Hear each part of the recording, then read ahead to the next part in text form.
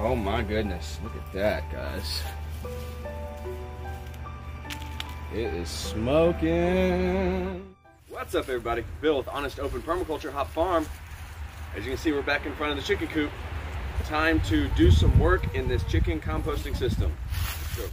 First, we're gonna take all the material that's in there and pull it out, put it in the second in the second section, in bay number two. We are also gonna show you the thermometers that we installed so we can check the temperature.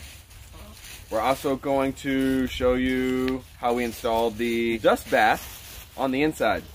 And to top it all off, we're gonna fill this thing back up with a lot more leaves. So let's get to it. We've got a good amount of work in front of us.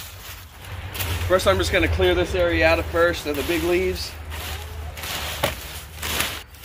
You probably see it up there. I've got uh, one of the thermometers, the outside thermometer sitting up there just a basic thermometer. We'll see how well they work. It was $4 at Walmart for two of them. If they don't work, I'm only out four bucks, then I'll get something nicer. But I'll see if $4 will work first. And the idea with the thermometers is I have one inside also I'll show you. I'll show you real quick. I did place it in the wrong spot at first, so hopefully I didn't break it. I did place it right here on this screw. Um, but the new chicks have been roosting on this roost and this bar here. And they knocked it off, knocked it into here. Um, messed, and I had to switch it. Now it's on the other side. No one roosts on this post over here. We'll check it at night. And then we'll check the one, I don't know if you could see it. I'll show you. We'll check the one that's up here. And we'll see what the difference is. I am not expecting much of a difference in the next few days simply because we're taking the heat source out right now. The waste material that we're going to be putting in here after we take everything out, it's going to take a few days for it to uh, build back up, to build the heat back up. So we've got this whole section right here, about three foot by, shoot, eight foot section, seven foot section, something like that, that we can uh, stack compost up in right there. And I'm sure the chickens will love it. They'll jump on top of it and scratch it up and everything. Let's do it. Let's get it out. And any of the big stuff, I'm sure some of that stuff is still gonna be in here, some of the broccoli and, and the pumpkin. So we're gonna put it in a little bin that I have sitting over here. Ugh.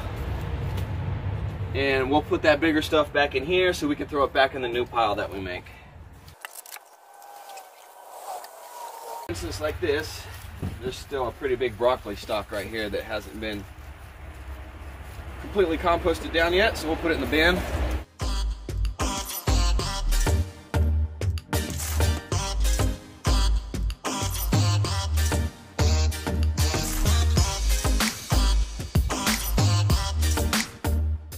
chickens are really picking through this right now. Let me show you why. A lot of the sprout, the grains, the scratch grains, hope y'all can see that there. A lot of the scratch grains here It's starting to sprout. And they're going through, tearing it up. So this is a good staging area for them to go through. This is where they'll, they'll really pick it apart and start going through that sprouted grain. And also the corn is starting to ferment. Any whole pieces of corn are starting to sprout.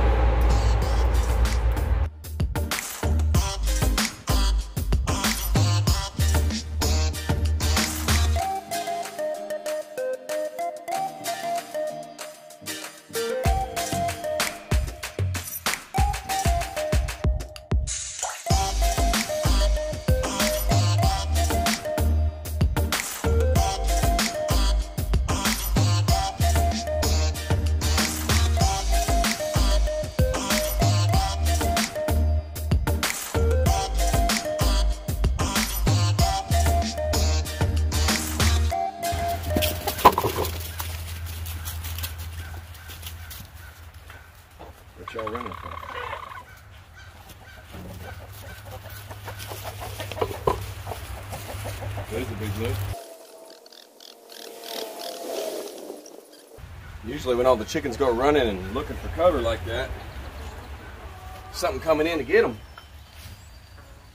I didn't see anything though. But the good thing was Big Blue our rooster, he was the only one left out there surveying the area, making sure everything was kosher. Good job, Big Blue. I see you back there, boy.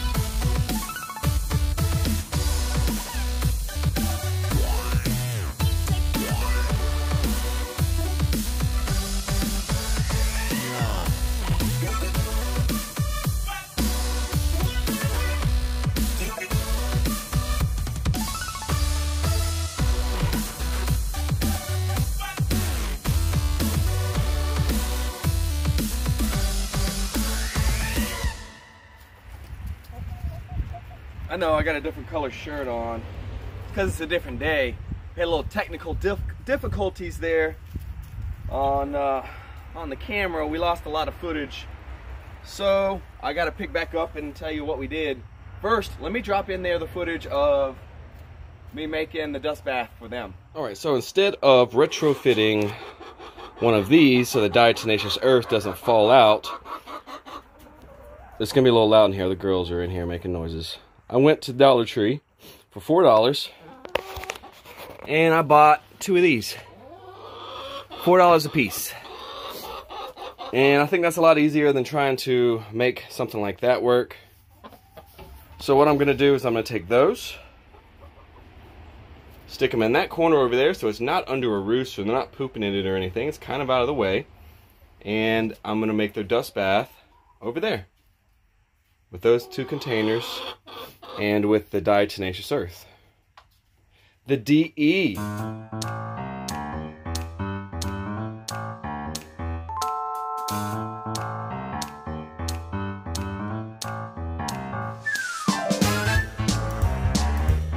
Someone's already over there exploring. I want to jump in there. What are you doing, girl? I'm about to fill it up for you. You about to get some DE in there. Curious what's going on, huh? Making you a dust bath.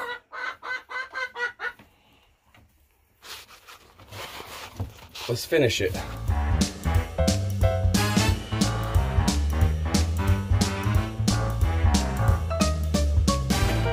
Woo! Let's get out of here. Shouldn't be breathing that in.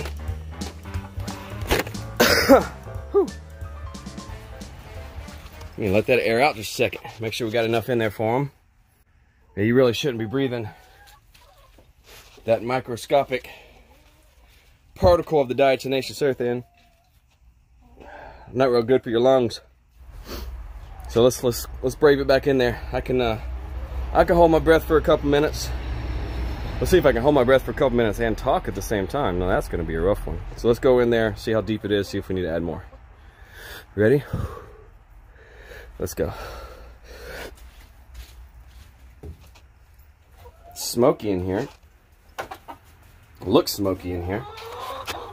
So, oh yeah, we're good uh, two, three inches deep. The girls can get in there now and do what they need to do. I'll leave you all alone.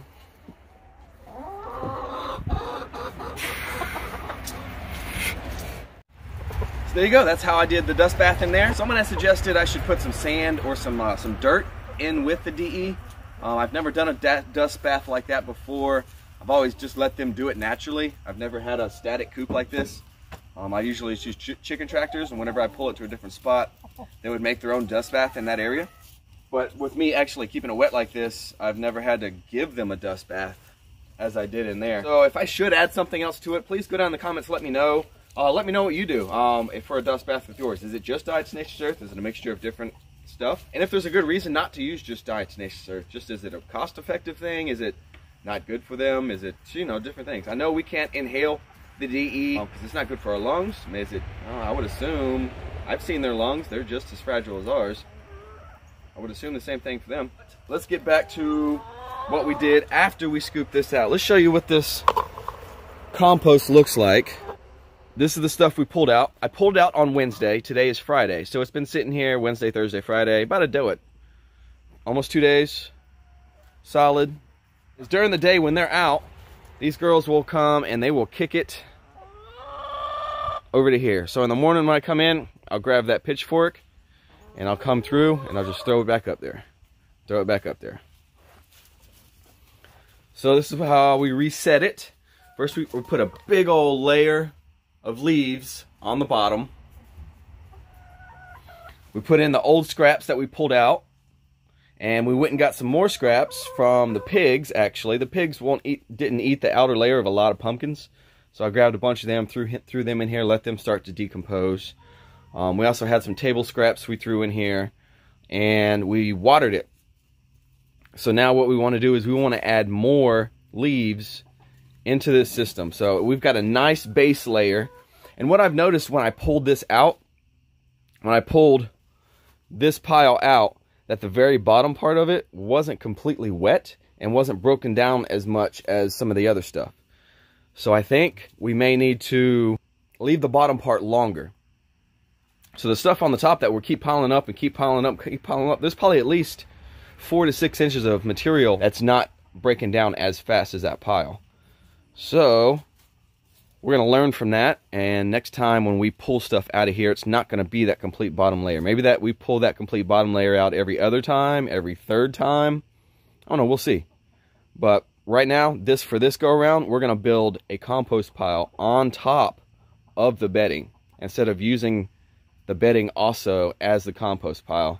We'll need to pull their, their night water out so we can get the wheelbarrow in here. So let's go up this hill and let's pick apart that pile up there.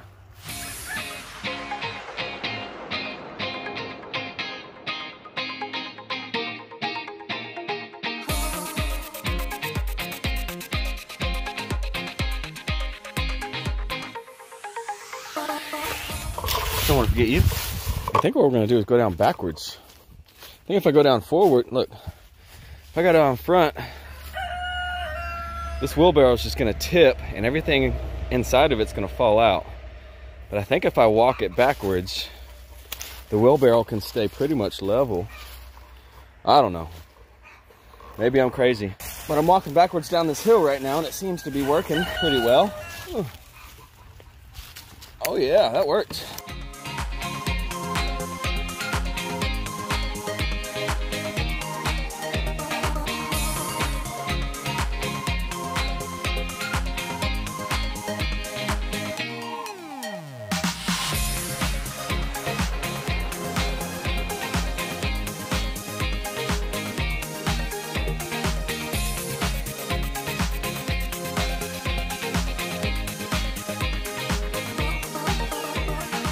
We have it good and full. Let's go check out what we did. We need to move it around just a little bit. We'll grab some of these hanging out on the outside. Throw them in. And we got a nice looking pile in here now. It's sitting at least, uh, when you include the bedding, three and a half foot tall at least. So plenty big enough to heat up. As far as width, it's eight foot wide-ish. Update on the thermometer situation. We have a slight problem. The first night after I put it up here, I guess the chickens were in here having a little real rumble or something, and this thermometer was on the ground, and there is no more um, what's what's the thing in the middle? Someone help me out here. Leave that in the comments. I can't think. I don't remember. It's gone. I don't know where it is. I'm gonna have to find it. in here amongst the leaves. Yeah, good luck, right? So we're gonna have to try something else out for the inside of the coop. Or just hang it in a different spot. Maybe say up there or something to where the chickens can't get to it, right? That would be smart. We got the chicken coop full. We're gonna let this sit for a few days and we'll pile it back up. Let it sit for a few days, pile it back up. We'll do that for a week to two weeks until I feel like I need to pull this stuff out. And then it'll come over here in this bay. And this girl's working. Stuff's looking good too. I want to show you something real quick on this compost pile, on this compost. It's heating up still. Un momento, por favor. Mucho gracias. Let's open this up.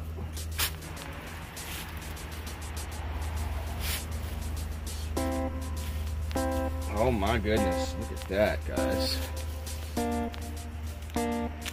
It is smoking. Definitely still cooking. That's good. Mm-hmm. This is gonna be awesome, guys. You know how much compost I'm not gonna have to buy in 2020? Woo! I'm excited. So thank you guys for watching this third edition of the chicken compost system. If you enjoyed it, please smash that thumbs up button. If you haven't already, please subscribe. And if you want to watch the first couple videos, I'll be popping them in here, here, and enjoy yourself. See you later.